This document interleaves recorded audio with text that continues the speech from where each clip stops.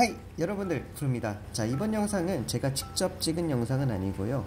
버지니아주에서 외국 곤충을 합법적으로 사육하고 있는 뉴욕의 시간이라는 친구에게 영상을 제공을 받았습니다. 앞에 보이는 이 생물들은 아래에서 애벌레, 성충까지 해서 짝짓기하고 번식을 해서 키운 친구들이라고 합니다. 제가 꿈에 그리던 생물들을 자유롭게 키우는 모습이 굉장히 부러운데요. 부쨌든 한번 함께 보러 가볼까요? 안녕하세요. 뉴욕의 시간입니다. 오늘은 여러분들과 정부르님을 위해서 어, 영상을 하나 준비해 봤는데요. 예, 오늘은 골리아투스라고 아프리카 종을 하나 소개시켜 드리려고 영상을 이렇게 찍고 있어요. 예, 얘네들이 발발거리고 잘 나는 그 꽃무지의 특성이 역시 있어요? 좀 많이 크면은 좀 덜할 것 같은데 아 그래도 어쩔 수는 없나 봅니다 지금 일단 가장 흔한 종이 이 골리아투스라는 애들이에요. 지금 막 날아갈까봐 조금 걱정이 돼가지고 제가 이렇게 뚜껑을 들고 있거든요.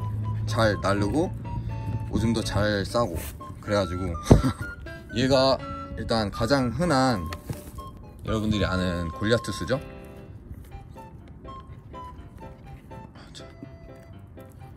잘 보이시죠? 예, 얘가 순놈이고요 얘네들도 똑같은 아이고. 나오라 자, 똑같은 골리아투스인데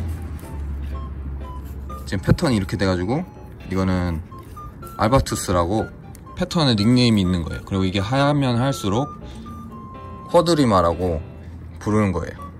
지금 아이들이 지금 후식을 시작을 해가지고 애들이 지금 엄청 빨빨거려요 그래도 얘는 얘가 얘가 후식을 아직 안 하네요 그래가지고 좀 얌전하네요 자 여러분들 굉장하죠?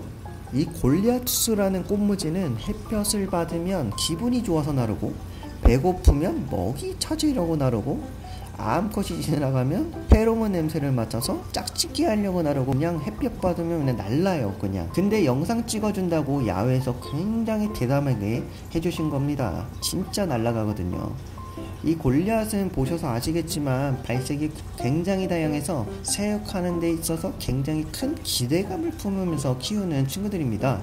성충이 되었을 때 발색이 어떻게 나올까라는 기대감 말이죠 아프리카에서 가장 큰 꽃무지인 골리아투스들은 곤충 매니아들에게 꿈의 대상이었고 저 또한 이 친구의 꿈을 가지면서 한번 보고 싶다라는 생각을 많이 했었습니다. 근데 역시나 뭐 키워보거나 살아있는 거 그냥 뭐 털도 못 봤어요. 지금 보면서 어느 정도 만족을 하고 있습니다.